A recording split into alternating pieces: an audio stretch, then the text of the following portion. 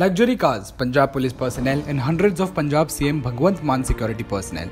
The golden boy of AAP, Raghav Chadha, has tied the knot in a dreamy wedding in Udaipur with Bollywood actress Parineeti Chopra. But a political row has erupted between all the romance and lux of the wedding.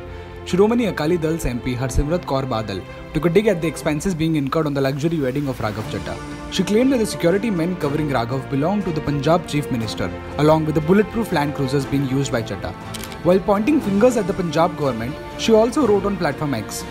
The Bharatiya Janata Party also joined in the controversy by raising allegations about how Raghav Chadha, whose monthly expense is about 2 to 3 lakh rupees, can splurge or even afford a Maharaja suit that costs 10 lakh rupees per night.